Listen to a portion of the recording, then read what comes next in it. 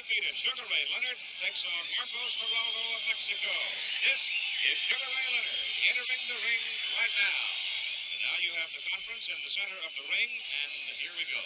Round number one, scheduled for 10. Leonard got there with a good left hook. Geraldo, showboating a little bit, sticks out his chin at Sugar Ray. Coming down from 10 seconds now to the end of round number one. Round two.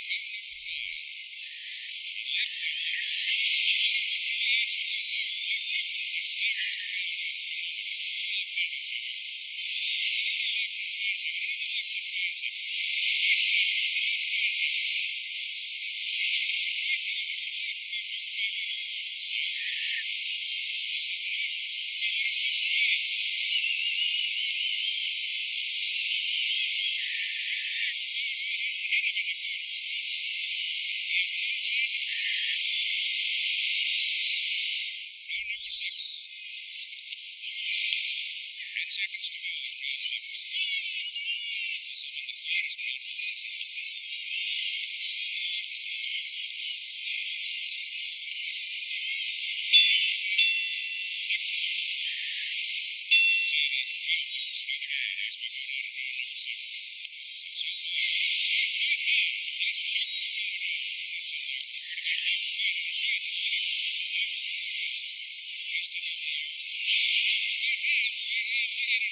you.